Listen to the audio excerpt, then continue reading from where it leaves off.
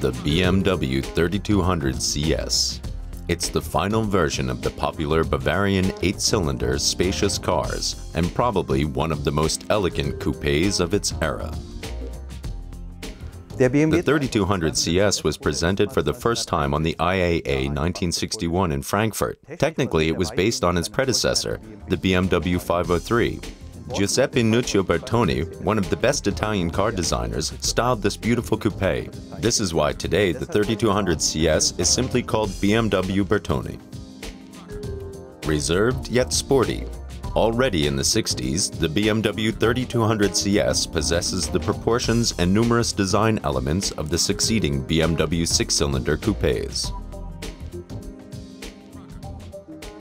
The BMW Bertone, for instance, has the typical kink in the C-column, which later became famous as the Hofmeister kink. Wilhelm Hofmeister cultivated the design lines of all following sedans and coupes.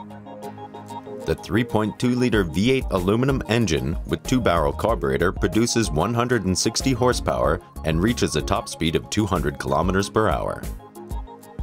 The BMW 3200 CS promised its customers space and comfort together with the very best finish and a dynamic V8 engine. All of that elegantly wrapped in Italian design.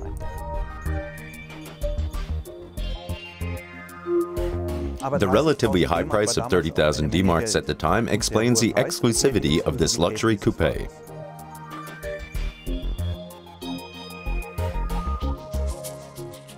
Approximately 600 were produced until 1965, after which the large V8s were no longer produced. The BMW 3200 CS Bertone, an eternal design icon still providing style ideas today.